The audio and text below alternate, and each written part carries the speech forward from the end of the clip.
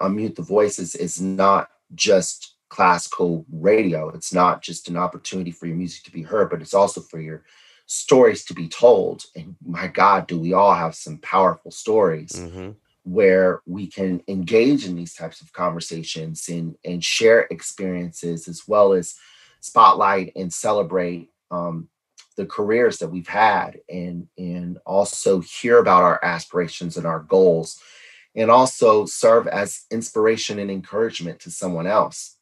Um, so if that if there were any sort of way of passing the torch this is how we do it